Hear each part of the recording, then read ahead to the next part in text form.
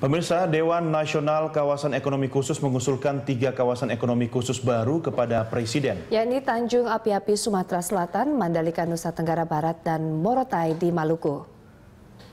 Menurut Menko Perekonomian Hatta Rajasa, kawasan Tanjung Api-Api akan dikhususkan bagi industri hilirisasi, sumber daya alam seperti industri argo, agro, karet, dan minerba, terutama gasifikasi untuk batu bara. Sementara kawasan ekonomi khusus Mandalika, Maluku, seluas 1.250 hektar akan difokuskan pada sektor pariwisata.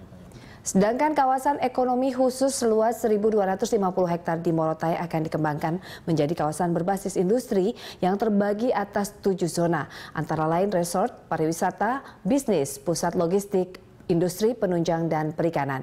Menurut Hatta, kawasan ini sangat strategis karena dekat dengan Jepang dan Taiwan.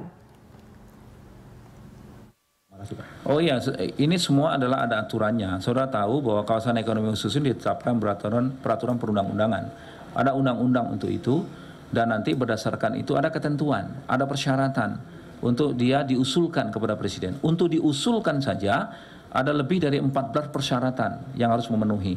Mulai dari tanah yang clear and clean, kemudian juga calon investor, kemudian infrastruktur, kemudian tata ruang, berbagai macam persyaratan itu harus dipenuhi.